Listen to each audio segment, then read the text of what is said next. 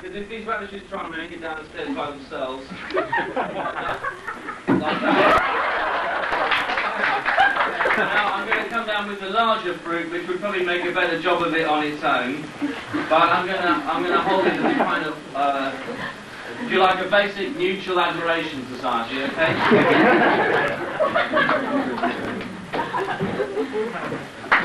Thanks, Mark.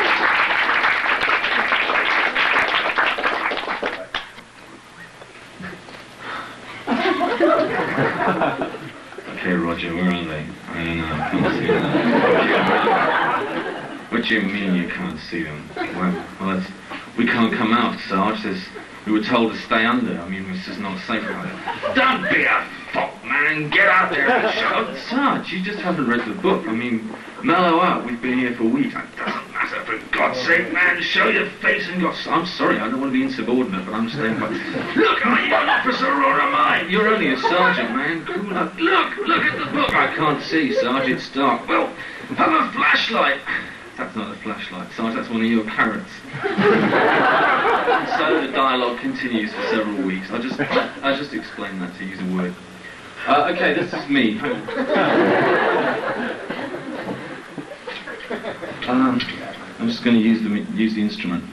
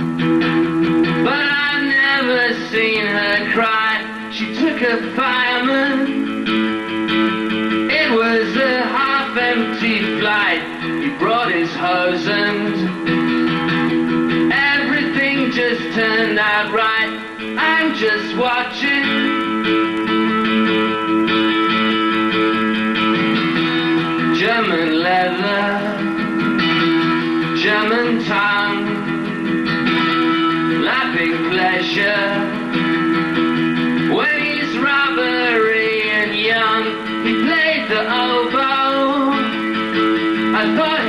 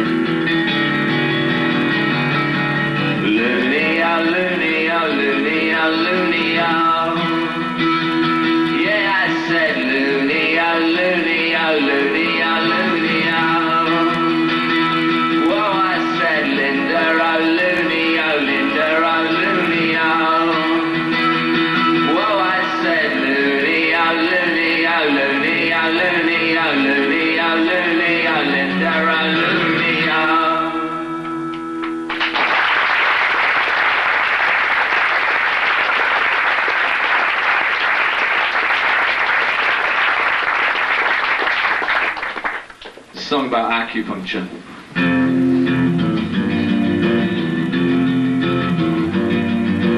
It's really good because actually, if you let enough points get into you, you uh, you can redirect your energy so that, well, say you've got a lot of fruit in one of your legs, and uh, so simple tasks like bicycling and skiing and things like that become quasi impossible, and your friends can't bring themselves to say they think you're deformed and you're not what you used to be. Well, you redirect your body currents, you redirect your fruit, and instead of all those strawberries being unpleasantly cut, clustered in your hands, they kind of all around your body, little different pieces, like a kind of toll system. Every time the blood goes past another joint in your body, gives the strawberries a dollar, and the strawberry says, God bless you, sir, carry on. Some mirror mirrors here, watch your performing little ways. Or snip your harness off and take another walk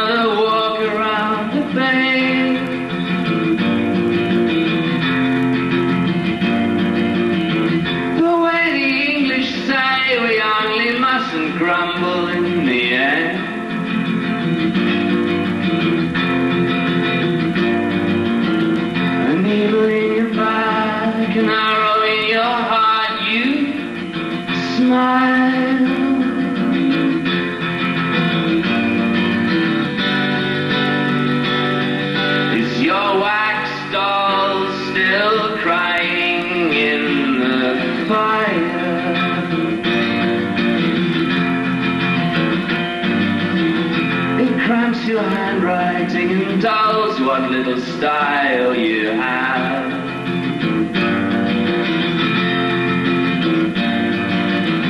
You cast your mind back to professionals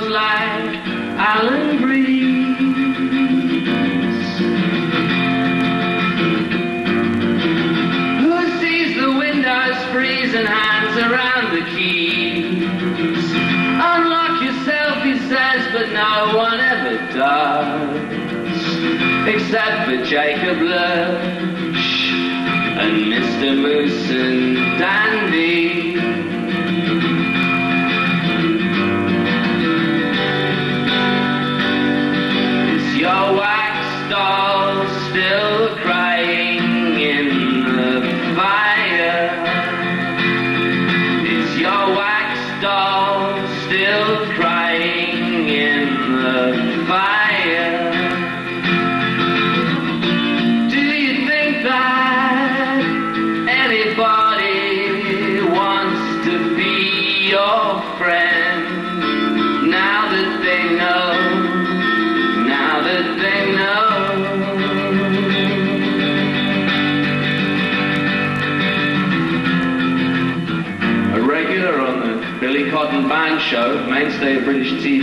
50s and early 60s.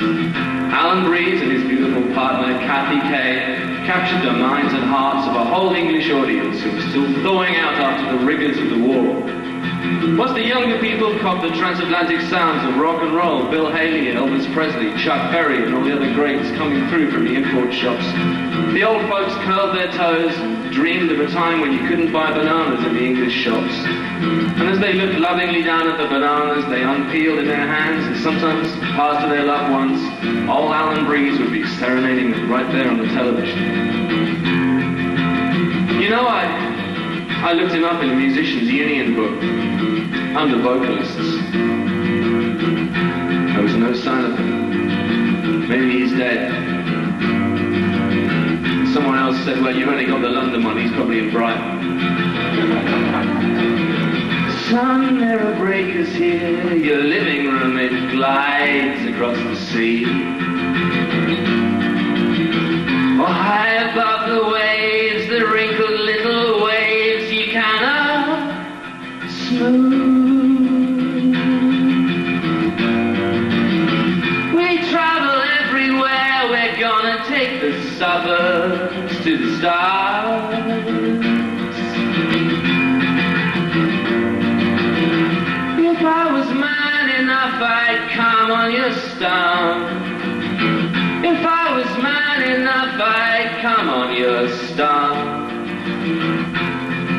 don't you know,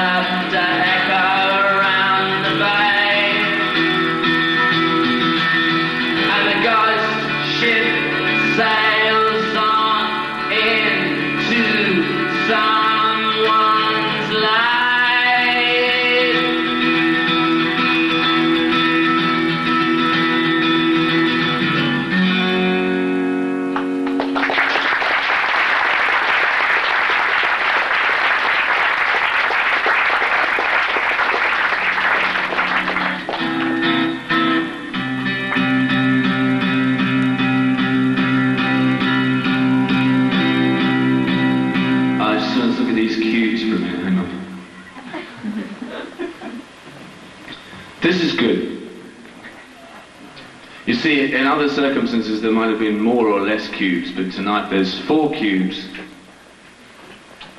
and small piece of impacted cheese almost obscuring the top of a little book of matches. But there's a note too. Now, one of the things that really bugs people is unexplained phenomena. I mean, in a way, it's great because you can have that, the Weekly World News, you can have something fairly simple happens, like a, a spaceship crash lands in the middle of downtown San Francisco, and normally people wouldn't take any notice.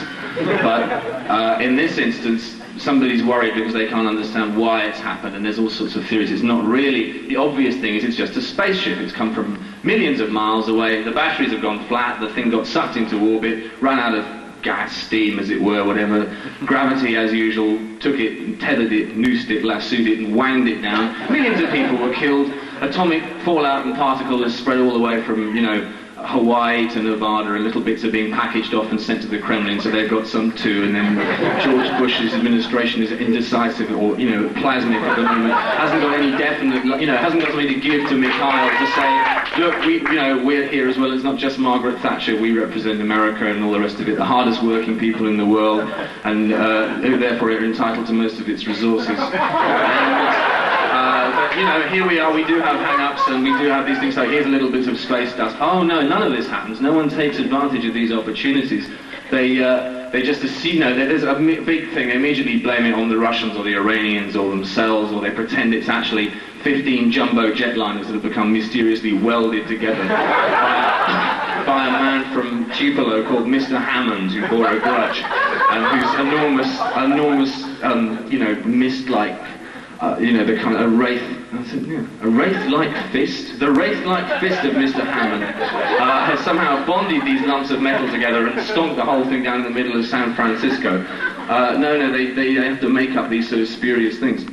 Now, this is different because we've got the cheese and we're going to find out why.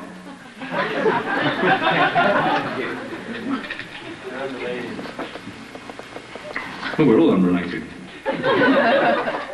oh! Well, the reason the cheese is here is because it's my birthday. Play I Am the Walrus, please. Thank you. I can't. I don't know it.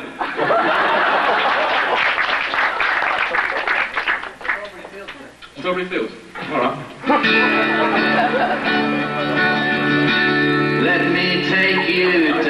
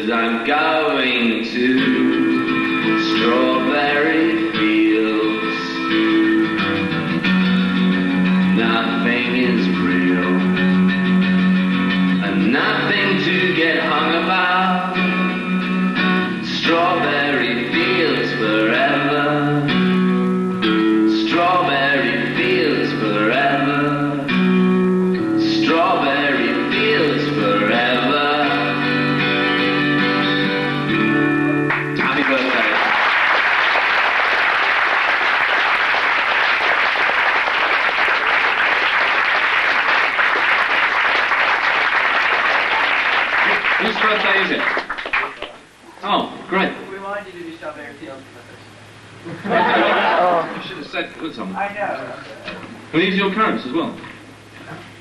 These carrots from an independent source. Okay, well, you're shy. That's great. okay. I'm gonna have to.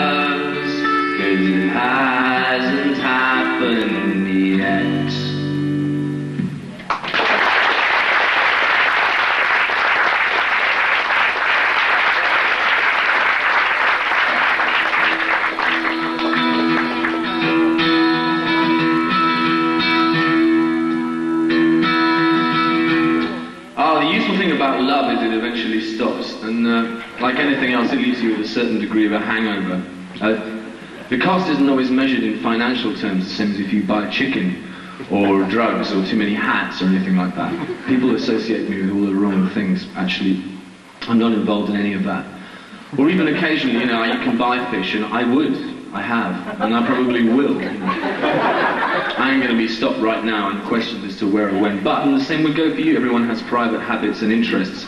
And out of this sort of plasmic bowl of confused emotions and uh, inferences and little. I mean, essentially, if you can picture a kind of round vat with the top sealed down every so often, there's a. It's like a sort of garbage can with a flattened out map of the world on top that nobody can see because they're all lying underneath. And there's little fiends inside the can with very, very long arms that can stretch an indefinite length. And every so often they try and push the top of the lid off. And then you have a thing, uh, it's basically a kind of psychic mallet adjuster that comes out on the top of that and pushes the, the fiends back to the bottom of the can and they all get chronic earache and things like that. But they have amnesia, so they forget constantly that they're defeated by this mallet. And so within a matter of seconds, these rubbery but uh, dejected fiends are back in place, pushing at the top of the garbage can again. This is basically how human emotions work. And then every so often, uh, there's a there's another thing which injects kind of sour milk or a kind of mix of yogurt and gasoline that comes in through the top. And half the fiends are allergic to yogurt and half of them are allergic to gasoline, but the other half crave yogurt and crave gasoline. So when this stuff comes through, uh, first a bit of yogurt comes in, and um, or yogurt as you call it. Uh, half the fiends go, go absolutely ape, and they start climbing on top of the other fiends who have again got chronic migraine but can't remember why. And just as the, just as the main fiends are about to ingest this yogurt, but they've got very, very, as you know, if you try and say you try and get a, get some yogurt with a, a sawn-off chicken's hand, uh, little, little of it actually reaches your mouth, which is why you're given the spoon, and uh, which is great. People shouldn't abuse spoons; they should just put yogurt in them. And any kind of fluid you've got, you've got to put it in the right place, otherwise no one ever happens. But I think that's okay. Things are going to be passive in this world. So uh, anyway, there's these fiends with these, these horrible sort of thin, stringy chicken claws trying to scoop yogurt into their gaping jaws. And then suddenly, all change, in comes the gasoline. And uh, the other ones, you know, barely has yogurt entered their starved and parched, ghastly medieval lips. When the other, the other, they, they, beg- they too feel the onset of migraine and falls at the bottom in a sort of catatonic heap, while the, the other uh, fiends spring up to get the gasoline, and they have, they don't have clawing hands. They have um, actually those little like when you know when aeroplanes fuck in midair and they have that, that uh, hose can opening thing like that. They've got those, so they should be okay because they can absorb the gasoline. Only unfortunately the lids are all shut, so they don't get any either. So these demoralised and unhappy things are bouncing up and down, and this is what causes people to relate to each other. and uh, this is a song about. A, but you know, a kind of an attempted relationship, and like most of them, it's a waste of time.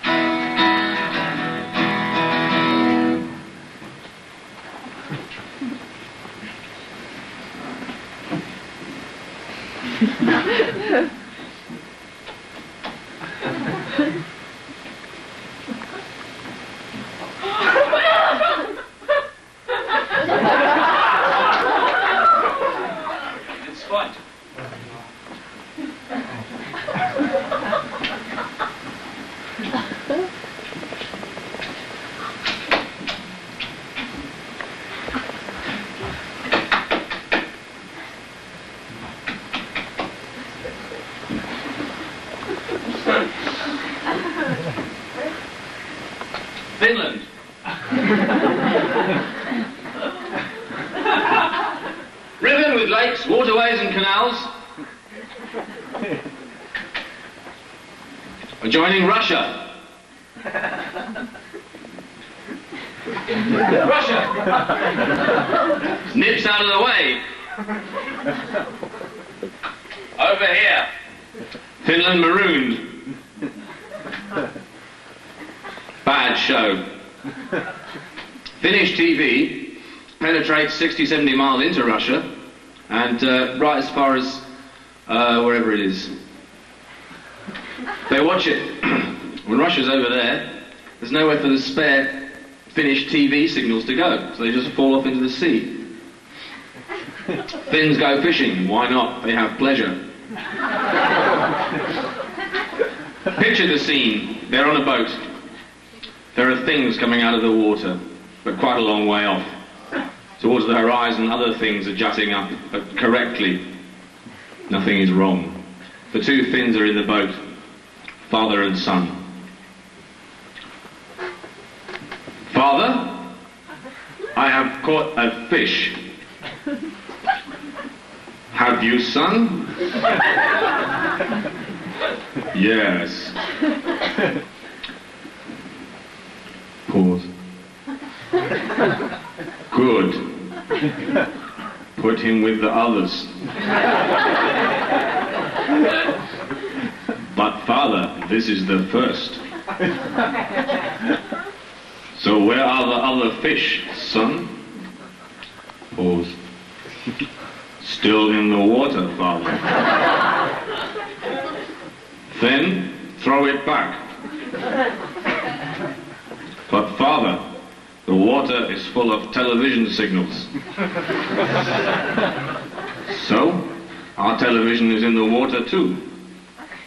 So you can see what's happening out there. Basically, is more and more fish are underwater in Finland watching the TV, and life gets harder for you know father and son to do male bonding out there fishing. It's a dying craft.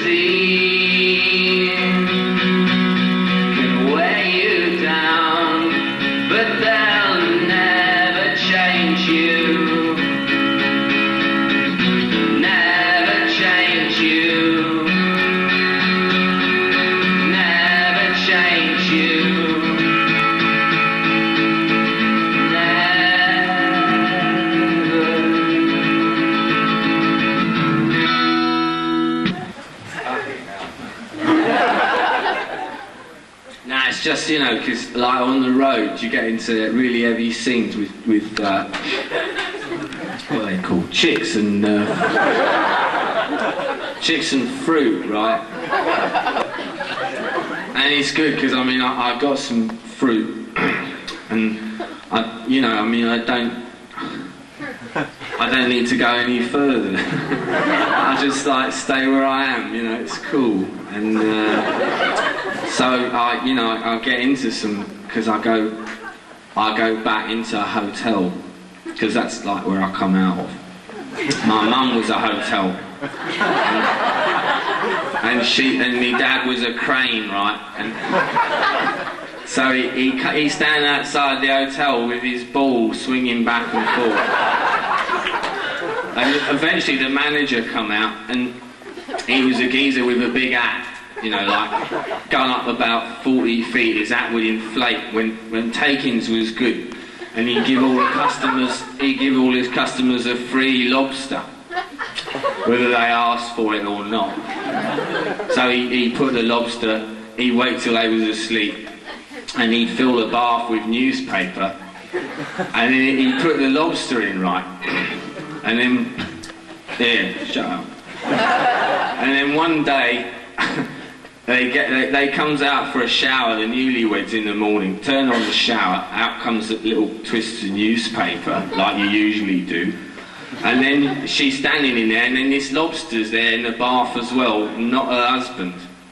And she says, "Here, there's a lobster here, not you." And he says, We only been married one day. I ain't changed that fast with marriage taking over my personality like you might think.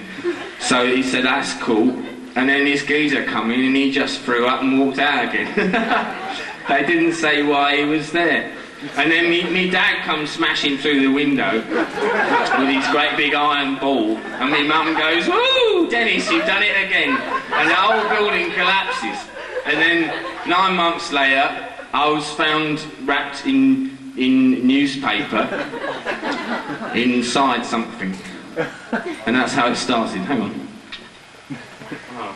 Right.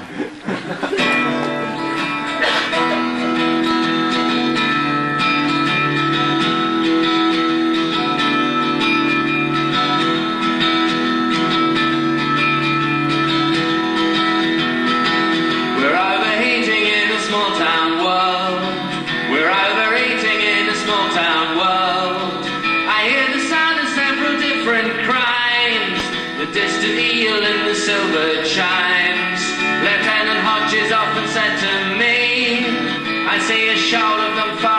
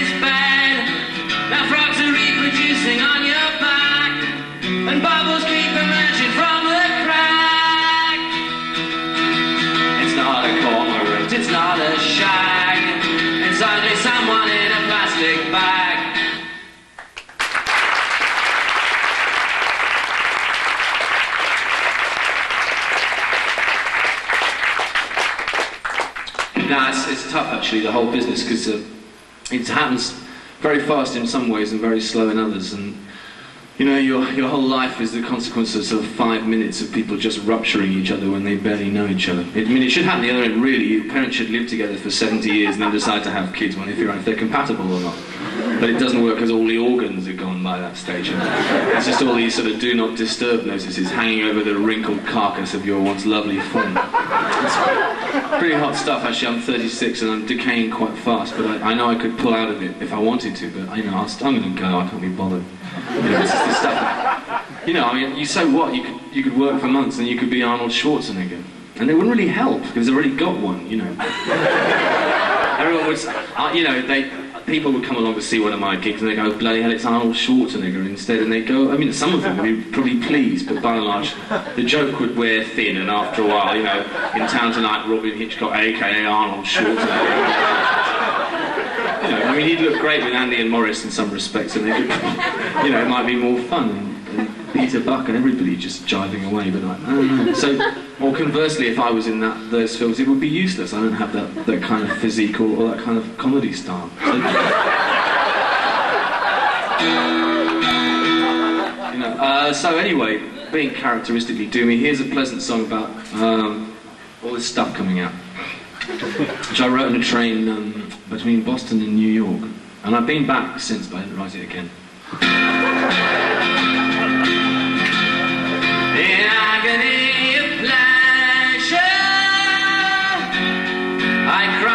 To my knees.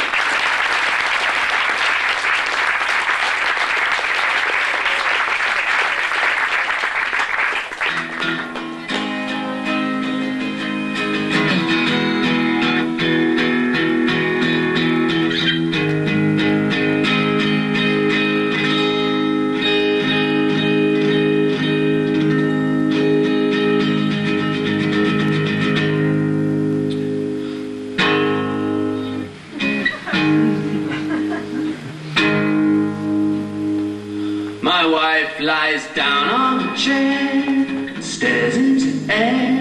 I know she's there. I'm making coffee for two. Coffee for two. But I come back in with coffee for three. Coffee for three. My dead wife sits in a chair,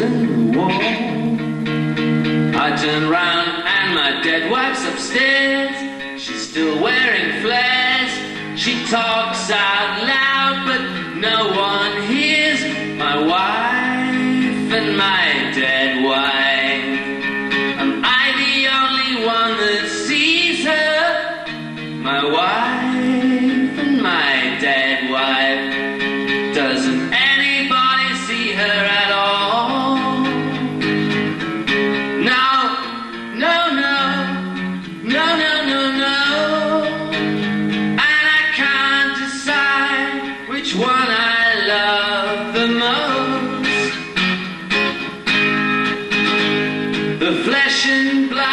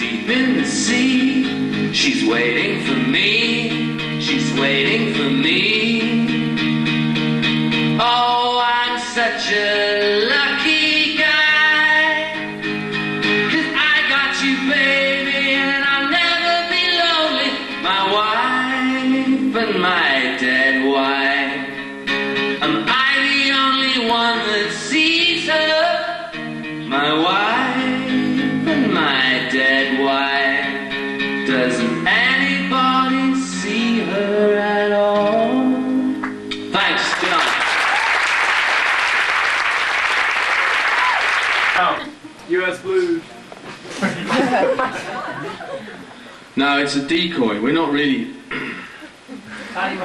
Element of error.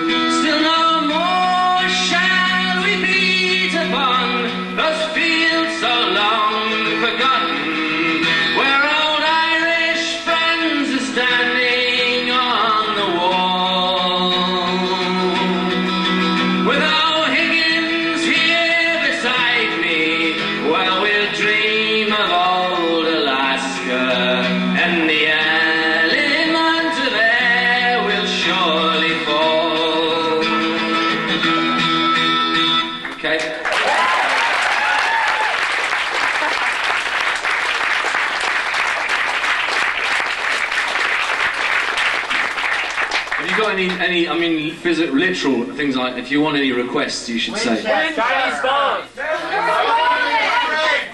Vibrating! Wipe out! St. Petersburg!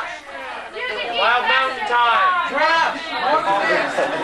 Um, ah, great, now it's really gone.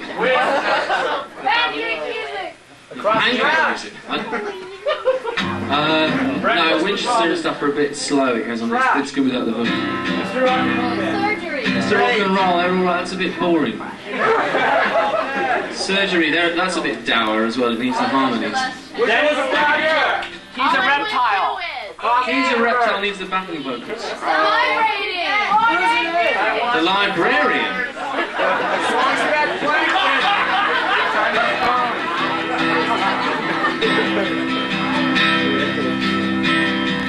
The library's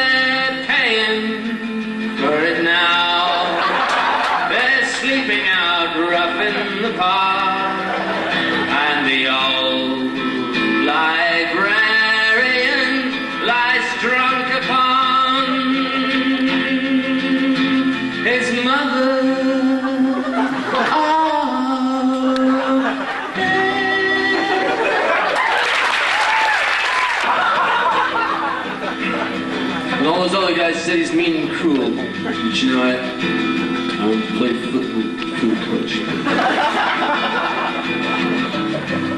Because I was kind of indistinguishable from myself at that point, and I had to assert myself in some form of way. And they guess he's mean and cruel. I want to play football, food coach. No, I had to play football, coach. And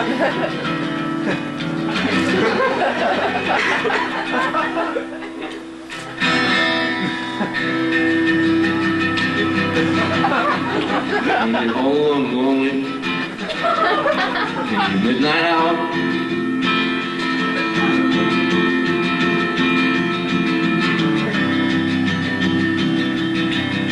And you find that your soul has been up for sale.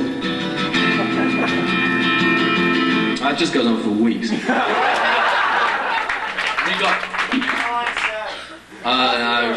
there's the- Green animal.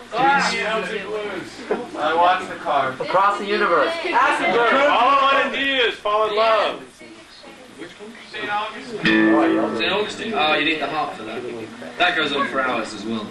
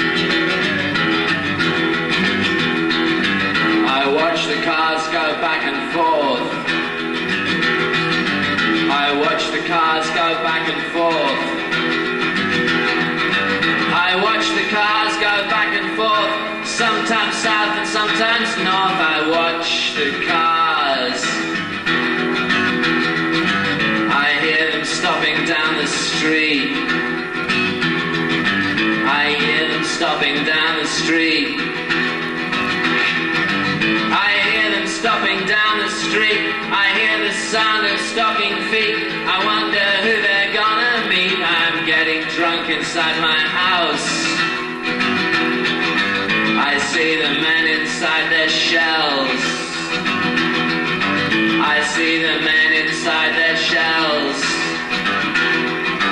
They go to prostitutes as well, who never mind the way they smell. The prostitutes are paid for it.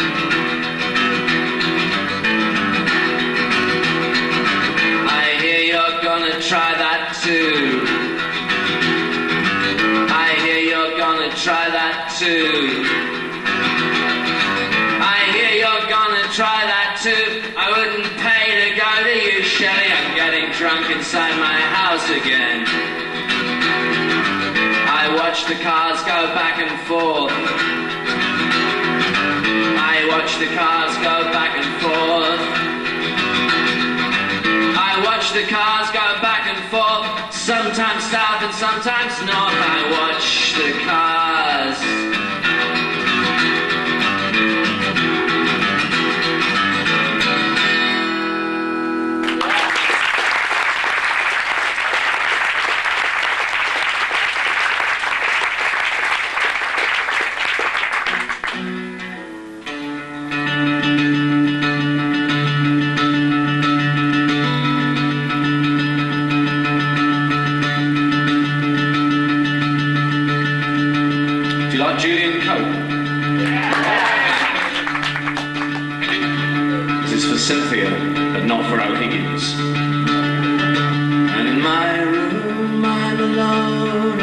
do. Maybe staying here for just a while.